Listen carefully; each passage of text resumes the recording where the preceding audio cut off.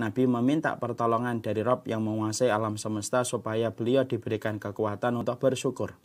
Dan tentunya kalaulah sampai setingkat Nabi meminta tolong supaya diberikan sifat syukur, berarti kita harus paham itu merupakan bagian dari penjelasan Nabi bahwasanya syukur itu berat dan sulit.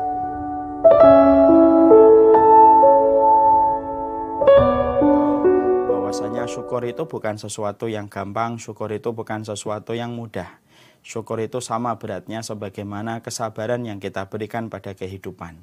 Karena syukur itu bukan hanya ucapan tahmid yang menghiasi bibir kita ketika kita mengucapkan Alhamdulillah.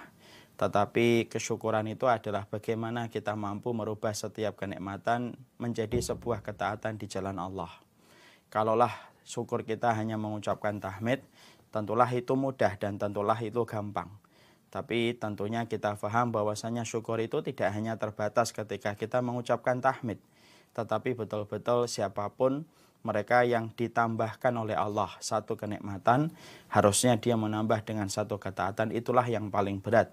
Di dalam kita bersyukur kepada Allah yang mungkin selama ini kita pandang dan kita anggap syukur itu gampang padahal sejatinya syukur itu sama beratnya sebagaimana sabar makanya tak mengherankan kalau Rasulullah tidak pernah meninggalkan salah satu dikirnya beliau salah satu dikir yang tidak pernah ditinggalkan oleh Nabi yaitu adalah Allahumma a'inni ala dzikrika wa syukrika wa husni ibadatika.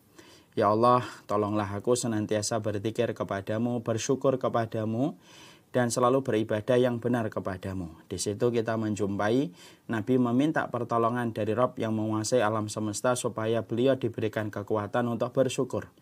Dan tentunya kalaulah sampai setingkat Nabi meminta tolong supaya diberikan sifat syukur, Berarti kita harus paham itu merupakan bagian dari penjelasan Nabi bahwasanya syukur itu berat dan sulit.